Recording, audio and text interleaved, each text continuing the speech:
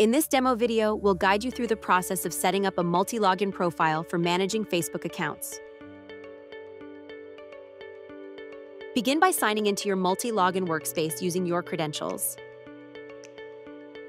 Add team members to your workspace and assign them access to specific profiles for better collaboration. Before setting up a new profile, ensure the Multilogin agent is running and properly connected. Simply click this button to connect the Multilogin agent with your browser. When the connection is successful, you'll see a notification confirming it. Let's create a new browser profile for Facebook. Click Create to begin.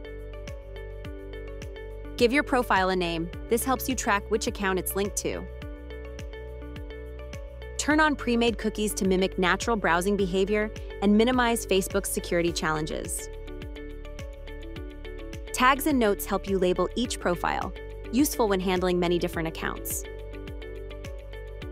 Access the advanced settings for further customization of your profile. Here, you can choose the operating system, select a browser engine, and decide between local or cloud storage. You can also configure WebRTC to fit your fingerprint setup or specific workflow. Once you're all set, click Create to save your Facebook profile. Use the same steps to create multiple profiles, one for each Facebook account you want to manage. You can also bulk create Facebook accounts using quick AI actions by typing prompts into the text field above. Now launch the profile to open your dedicated browser session. A new isolated browser session opens, fully masked and ready to go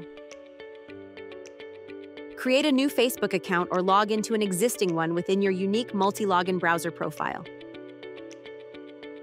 You can use different browser cores by choosing StealthFox or Mimic to create unique profiles.